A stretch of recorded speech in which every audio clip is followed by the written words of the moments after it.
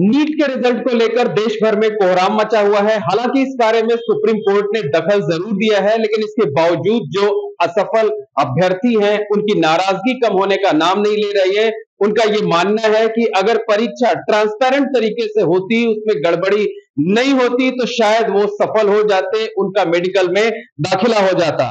बहरहाल supreme court का फैसला आने के बाद जो असफल अभ्यर्थी है, उनका क्या सोचना है? वो क्या सोचते हैं कि किस तरीके से परीक्षाएँ आयोजित कराई जानी चाहिए? किस तरीके से ट्रांसपेरेंट तरीके से परीक्षा होनी चाहिए? ये जानने के लिए हम नीट के अभ्यर्थियों के साथ मौजूद है।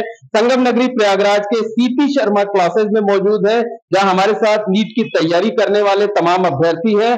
और ये वो अभ्यर्थी हैं जिन्होंने पिछले दिनों हुई परीक्षा में हिस्सा लिया था लेकिन किन्हीं वजहों से वो कामयाब नहीं हो सके? इन बच्चों से बात करते हैं। क्या नाम है आपका? रश्मि। रश्मि ये बताइए कि जो पूरा विवाद है इस पूरे विवाद पर आप क्या सोचती हैं? सर मेरा तो यही सोचना है कि जो पहले की बात एग्ज़ाम हुआ वो बहुत ही अनफेयर तरीके से हुआ।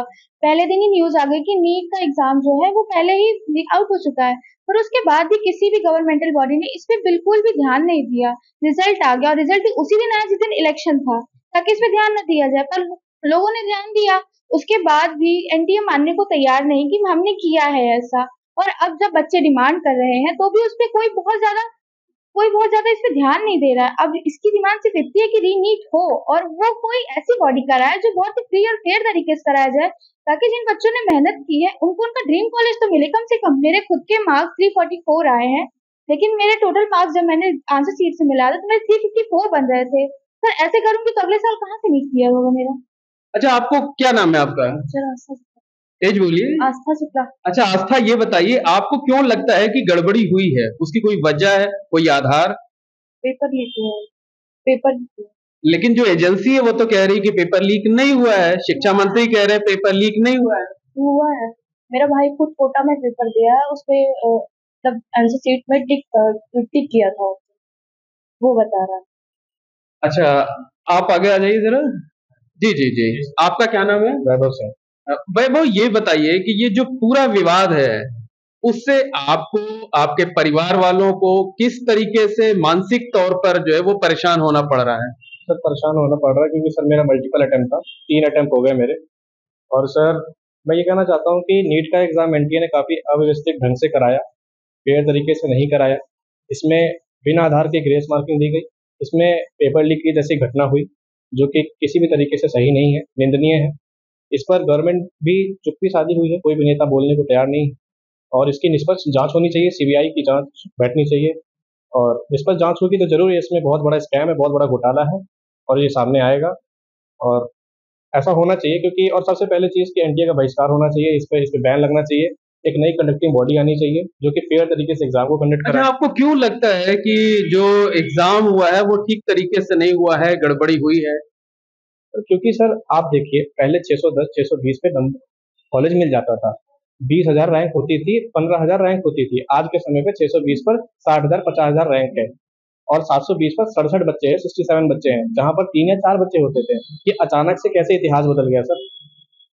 आप बताइए चालीस मार्क्स पचास मार्क्स बहुत बड़ा मार्क्स होता है। इतना बड़ा कट ऑफ़ का गैप आ गया है। तो बिल्कुल पेपर लीक हुआ और लोग हैं उनसे बात कर लेते हैं। आप थोड़ा पीछे आ जाइए ऐसे आइए ये फेस ऐसे कर लीजिए आप। क्या नाम है आपका? श्रेयांश श्रेयांश ये बताइए आपकी जो एजेंसी थी उसने अपनी गलती मानी है? सुप्रीम कोर्ट में कहा है कि हमने जो ग्रेस मार्क्स जिन बच्चों को दिए थे उनके ग्रेस मार्क्स हम वापस ले रहे हैं। वो बच्चे चाहें तो दोबारा एग्ज़ाम दे सकते हैं तेईस जून को। क्या लगता है कि अब वो गलती, वो कमी दूर हो जाएगी या कि अभी भी पूरा जो परीक्षा है? बिल्कुल भी दूर नहीं होगा। पहली बात तो ये ग्रेड्स मार्क जिसका मिला है, उसका तो एग्ज़ाम करवा दे रहे हैं। बाकी जो पेपर लीक हुआ है, जिन बच्चों ने चीट किया है, उनका क्या होगा? वो तो मतलब जो बच्चों ने फेयर तरीके से एग्ज़ाम दिया है, उनके साथ तो अनजस्टिस हो जाएगा। जो चीट करके जिन्होंने चीट किया है, वो तो निकल गए। बाकी ग्रेड्स मार्क वालों को करवा रीनीट करवाने के बाद भी क्या फ़ायदा होगा? आप ये बताइए कोई पॉसिबिलिटीज नहीं दिख क्या चाहते क्या है आप रीनीट सबका होना चाहिए। और सबसे तो पहले पूरी परीक्षा रद्द कर दिया जाए इसे नए हाँ, सिरे से कराया जी हाँ बिल्कुल नए सिरे से करवाया जाए। क्योंकि अगर ग्रेड्स वालों का करवाया जाएगा तो चीटिंग वाले बच्चे बच जाएँगे। और चीटिंग वाले बच्चे बच जाएँगे लेकिन फिर सिर्फ़ पंद्रह सोलह सौ बच्चों का करवाया जा रहा है रीनीट ज़्यादा से ज़्यादा कित, कितना गैप होगा उसमें क्या कहते हैं कि थोड़ा बहुत रैंक में। रैंक में कितना गैप होगा? ज़्यादा से ज़्यादा एक ज़रूरी नहीं कि सारे बच्चे री एग्ज़ाम दे जो है और भी बच्चे हैं उनसे बात कर लेते हैं। आप आगे आ जाइए थोड़ा। आ, क्या नाम है आपका? पलक। पलक ये बताइए आपकी अब क्या चाहते हैं आप लोग? सर आप चाहते हैं कि एग्ज़ाम दोबारा हो क्योंकि रैंकिंग सिस्टम वो हो गया और एग्ज़ाम का पेपर का लेवल थोड़ा अच्छा है ताकि जो इतनी आसानी से चीटिंग हो जाती थी और एक मार्क्स पे इतनी रैंक आ जाती थी ऐसा ना हो। और एनटीए को अपनी अकाउंटेबिलिटी लिए अपने एक्शन के लिए जो भी उसने पहले अप, अपनी गलती ना मानी और सुप्रीम कोर्ट जाके वो मान रहा है कि उसने ग्रेस मार्क्स दिया तो पहले उन्होंने क्यों झूठ बोला? इस सब के बारे में जाँच होनी चाहिए। मतलब जो मांग की जा रही है कि पूरा जो प्रकरण है ये सीबीआई जाँच करे जो भी जिम्मेदार है उनके खिलाफ कार्रवाई हो। आप लोग भी यही चाहते हैं? हाँ सर ये बच्चों के लिए वो आगे जाके डॉक्टर बनेंगे। आगे से उनके भविष्य कैसे वो खेल सकते हैं इस कारण उनको इतने सारे प्राइवेट कॉलेज में जाना पड़ता है देश के बाहर पढ़ने जाना पड़ता है। तो अगर सीबीआई जाँच नहीं होगी देश इसकी कार्रवाई नहीं करेगी तो बच्चों का क्या होगा? तो बच्चों का क्या होगा? आप आगे आ जाइए। क्या नाम है आपका? जरा ये बताइए आपकी देश में नई सरकार बनी है नरेंद्र मोदी जी तीसरी बार प्रधानमंत्री बन गए हैं वो परीक्षाओं में ट्रांसपेरेंसी की बड़ी बातें करते हैं उम्मीद है कि वो इस पूरे मामले में कोई दखल देंगे ताकि बच्चों के साथ अगर अनजस्टिस हुआ है तो वो ठीक हो जाए क्या कहना चाहेंगे उनसे क्या गुहार लगाएँगे प्रधानमंत्री जी से? सर उनको दखल देना चाहिए क्योंकि बच्चों का भविष्य देश के लिए उनको ज़रूर देना चाहिए। क्योंकि सर इस साल ऐसा होगा अगली साल भी ऐसा होगा तो फिर हम लोग का तो काफ़ी ज़्यादा लॉस हो जाएगा। आप आगे आइए। क्या नाम है आपका? श्वेता सिंह श्वेता आप बताइए कि क्या चाहती हैं आप? सर चाहती हैं कि रीनीट हो जो मतलब बच्चे चीटिंग करके पास हुए हैं उनका तो हो गया सिलेक्शन हम लोगों का क्या होगा?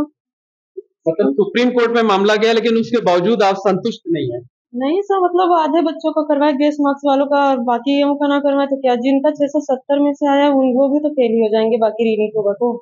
उनका भी तो नहीं होगा सिलेक्शन फिर पूरा पूरी परीक्षा आप चाहती है कि रद्द की जाए इसे नए सिरे से यस सर यस सर तो और भी बच्चे हैं आप आगे आ जाइए। आगे आइए आगे आइए। क्या नाम है आपका? प्रांजल मिश्रा। प्रांजल, ये बताइए कि प्रधानमंत्री जी से क्या गुहार लगाना चाहेंगे? क्या चाहते हैं कि वो किस तरीके से इस पूरे मामले में दखल दें ताकि आप लोगों के साथ इंसाफ हो सके? प्रधानमंत्री जी किसी चीज़ में दखल देते ही नहीं उनकी सरकार बन के वो हर पेपर कराएँगे लेकिन लीक हो जाएगा। कोई पेपर साफ़ तरीके से कराया ही नहीं आज तक। यूपी पुलिस का एग्ज़ाम हुआ, उसको भी वो हो गया, वो भी नहीं हुआ। ये भी एग्ज़ाम हुआ, इसमें भी चीटिंग। हर चीज़ में कराते हैं। उनका किसी चीज़ में रिज़ल्ट आता ही नहीं और किसी चीज़ में खुल के वो बोलते भी नहीं है। वो अपना काम करके पीछे से निकल जाएँगे आगे वाले फंस जाएँगे। इस पे जाँच होनी चाहिए। सब लोग को करना चाहिए और पेपर फिर से कराना चाहिए। एक बार फिर से कराना चाहिए। आप आगे आ जाओ भाई। क्या नाम है आपका? शुभम प्रजापति। शुभम ये बताइए कि उम्मीद है कि कुछ केंद्र सरकार नई जो सरकार बनी वो दखल देगी? या कोई प्रेयर करना चाहते हैं प्रधानमंत्री जी से? जी सर सर जैसे कि हम गाँव से हैं आए हैं यहाँ पढ़ने के लिए तो सर हमारे पास इतना पैसा नहीं कि हम प्राइवेट कॉलेज एफर्ट कर सकें इसलिए हम मेहनत कर रहे हैं कि हमें गवर्नमेंट कॉलेज मिले। सर इतना फेयर तरीके से एग्ज़ाम हो रहा है तो हम क्या करेंगे आगे? क्या चाहते क्या हैं? सर अगले साल हम लोग एग्ज़ाम देंगे तो ऐसे अनफेयर तरीके से होता रहेगा तो बहुत दिक्कत होगा हम लोग के लिए। अभी से में डर लग रहा है। डर लग रहा है अभी तो इसलिए सर फेयर तरीके से एग्ज़ाम हो यही हम विनती करेंगे। तो निश्चित तौर पर कहा जा सकता है कि जो असफल अभ्यर्थी हैं, उनका ये मानना है कि परीक्षा में गड़बड़ी हुई है। इसी वजह से इस साल इतना कोहराम मचा है और ये अभ्यर्थी चाहते हैं कि पूरी परीक्षा को रद्द किया जाए, परीक्षा नए सिरे से दोबारा कराई जाए और पूरे मामले की सीबीआई जाँच कराई जाए। जो भी लोग दोषी हो, उनके खिलाफ सख्त कार्रवाई हो, ताकि भविष्य में इस तरह से बच्चों के भविष्य के साथ खिलवाड़ ना हो सके।